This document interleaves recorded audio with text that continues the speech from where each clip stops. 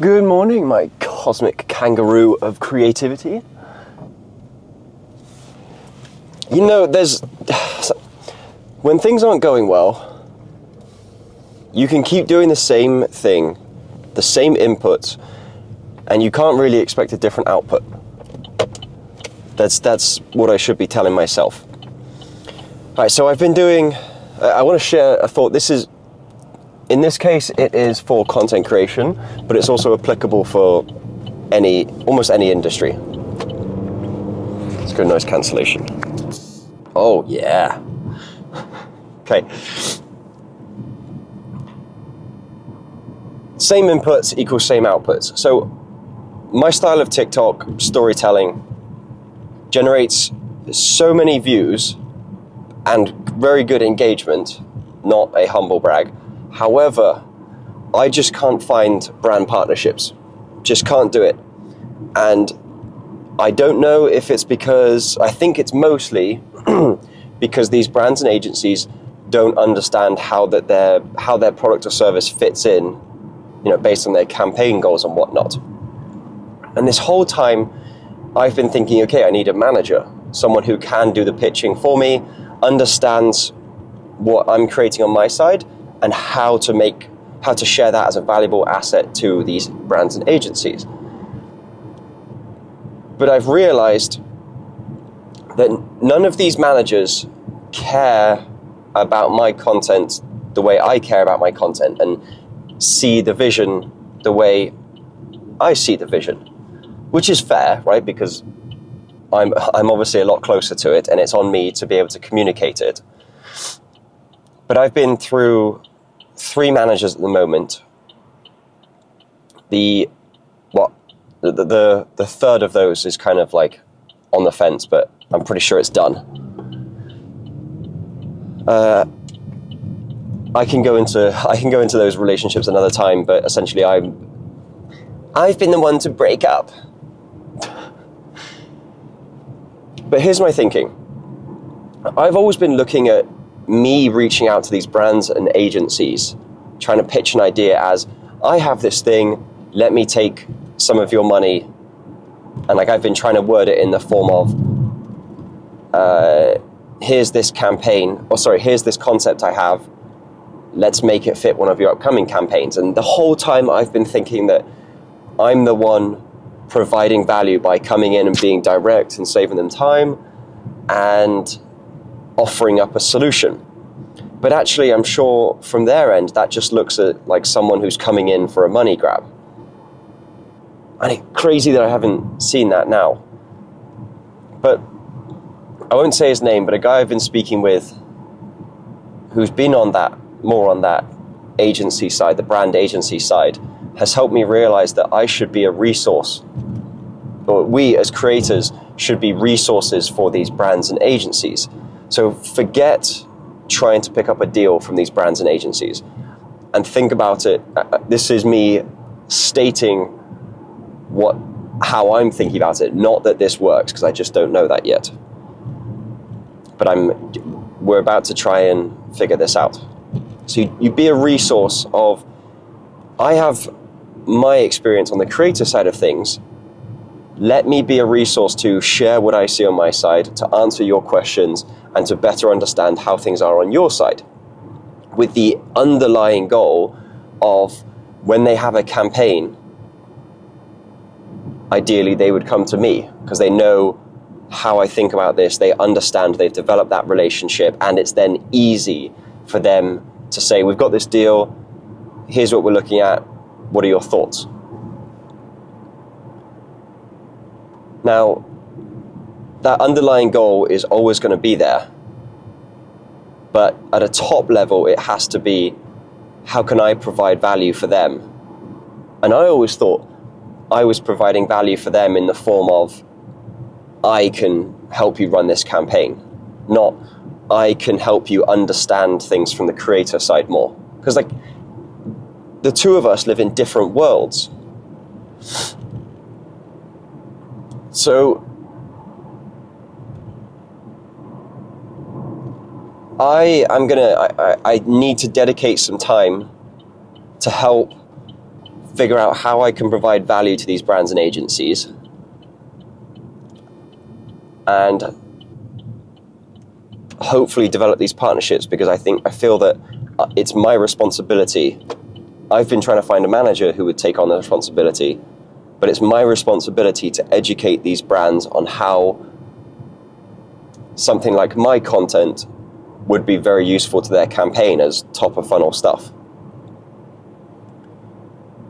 I, it's going to be it's going to be a lot of work, and I'm foreseeing um, just like conversations and back and forth email that I, I will dedicate time to. But I'm also very interested in it too, and I think it'll be cool to share on here what I learn from their side. And as I talk about it, as I think about it, I share more too. Sorry for the sniffing. So I'm feeling pretty positively apprehensive. I don't even know if that works. But I'm excited to excited to see this brand agency create a relationship in a completely different light and see how it goes. And then I'm going to go home right now and we're going to film a couple of these how many in 60 seconds videos. And if I can, get to filming the, or to editing the uh, switching soda with water, sorry, switching water with soda video. Because I think that has the potential to do quite well. Also, how ignorant is it to believe that you know how I've been trying to be more authentic or make my videos more raw. How ignorant it is to think, to expect that people should still be interested in my content when it's less about entertainment and more about me. That's that's nuts, isn't it? I had that realization last night. I just to think that I'm that important, that people should care about what I have to say. Why am I focused on that? Why am I not focused on making the most entertaining video possible? I think it, that I think that all stemmed from I, for, I didn't have this real like, this knowledge that TikTok as a whole is top of funnel and the real goal there is to generate as many views as possible while also trying to share a bit about me. So, like Dustin mentioned in a comment the other day, uh, that uh, my videos are like a hybrid of sharing a bit about me and um, oh gosh, I'm losing my thought. Showing a bit about me and being there for entertaining purposes for that virality. Wow. So I think what I need to do is I'll work out a pitch email, which is essentially a pitch to these agencies and brands of, hi, this is what I do. I'd love to be a resource for you. It can't, I don't think it can, I want to be honest in sharing what the underlying goal is, of being like straight up honest but I want it to be the focus to be uh, how can I be a resource for you? So as I think through that, I'll kind of share my thoughts going through it. But let's get home and start filming some of these videos. Cool. Toodles.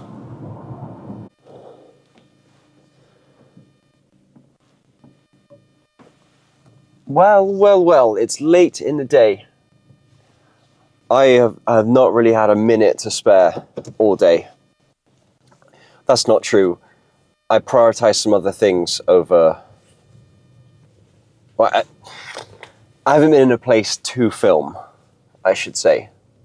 But uh, I realized, realized that I quite often I use the term realizations. Like I've had these realizations. Should probably text the missus that I'm on my way. Sorry. On my way. I should really make a shortcut for that. Um, I speak in realizations. It doesn't necessarily mean that I, what I've realized is then the right thing to be doing. But the way I see it is if we look at everything on a, a range from zero to 100, zero being brand new beginner, 100 being you know absolutely everything about a topic. Every time you practice, every time you fail, every time you win, you have these realizations that pitch you up a notch. It, you it could be one point at a time, could be five points at a time, could be 20. But every time, in my case, I have one of these realizations, I learn more about a topic, I understand something more, and I'm able to put that back into my loop of how I do something and make it better. I just wanted to clear that up. But it brought me onto this point of charisma because I could very easily say, uh, I had a realization about this thing and it's going to change all this about me, and this is it. Because someone who has charisma typically talks from a place of, of passion and knowing, I would say, and fully focused on that. I'm fully focused on the thing that I'm working on, but I don't. It just, it's. It, I feel like it would just be wrong to speak in a way that says what I'm saying is the truth. Like there are lots of things that I I know to. there are lots of things I know to be the truth, and I will talk about them in such a way. But for the rest of it, I take no shame and I, I feel like all of us should take no shame in uh, not latching on, but taking on the idea that actually it's okay that you aren't an expert at something. Anyway, one of the things I did focus on today was my thought process around how do I develop relationships with these brands and agencies. Again, underlying goal sponsorships, brand partnerships.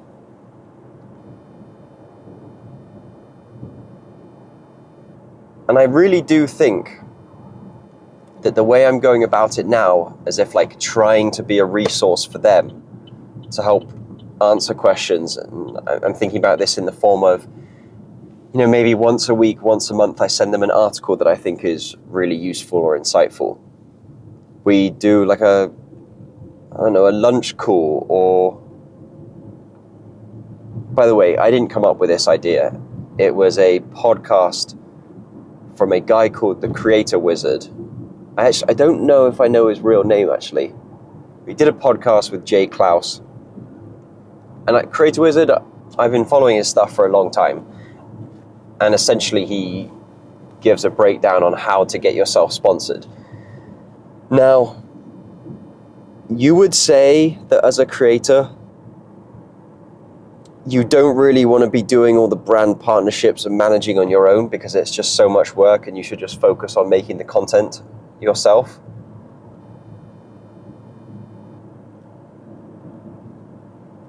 And if I was in a niche, like if I was tight in a niche, things would be different. I probably would go, I probably would be able to find a manager that could bring in more deals for me, that would be able to pitch me better. But at this point, because of my style of content, it just seems so difficult.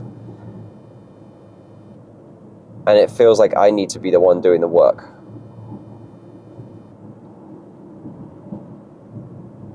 But I think I can do that because I like talking about this stuff. It, I've always seen this as like a, a burden of, oh, I've got to manage these relationships and partnerships. But actually, I would get to have conversations about the things, the thing that I enjoy talking about.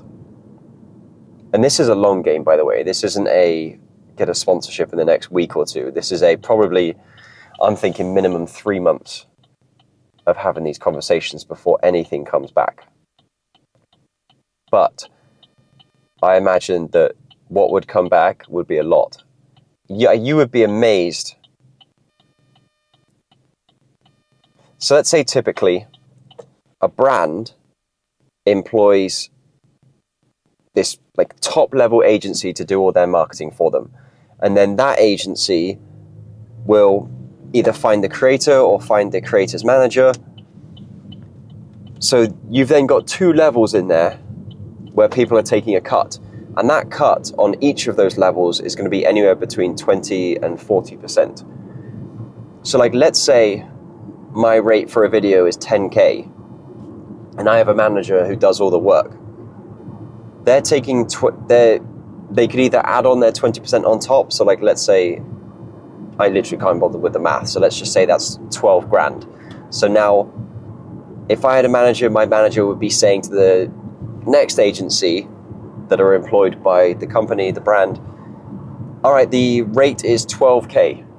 And then that agency are like, okay, well, we'll then tack on our 20 to 40%, whatever that is. I don't know, take that up to 15, 16 grand. It's going to be more than that, isn't it? 15, 16 grand. And that's what the brand are paying for that partnership. So, where in my case, I, I'm doing the majority of the work, I only end up actually seeing two thirds of the full amount that was paid. So if you develop that relationship directly with the brand, you get to skip out all those levels. Yes, you have more work on your end, but I'm pretty sure the work involved is not going to amount to 6k in that case, in that example. Now, honestly, I think the crazy to say, I know, but the numbers should be higher than that. Once I get back to a place of getting decent views. All right, boys. I'm toasted. I'm I'm amazed. Uh, things are going so well at the hospital with our, my son. I can't say I wish life was different at the moment. But I am also looking forward to my life going back to what it was, where I have the time to be able to do these things. And I'm looking forward to sinking my teeth in. But the two videos that we tried so far, I've tried two videos of the the new series I wanted to do. Both of them have flopped uh, I think I understand why. I think it's because there's no uh, what's the no no real catch. Like if I give an example of the dude who like how many bags of flour can hold me or how many bags of glitter can hold me.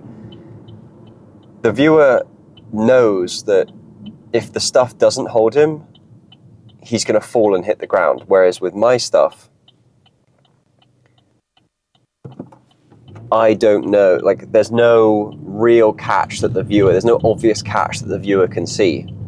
And I, I wonder if that's part of my problem. But I don't know. Let's do a few more videos, see how they do, and go from there.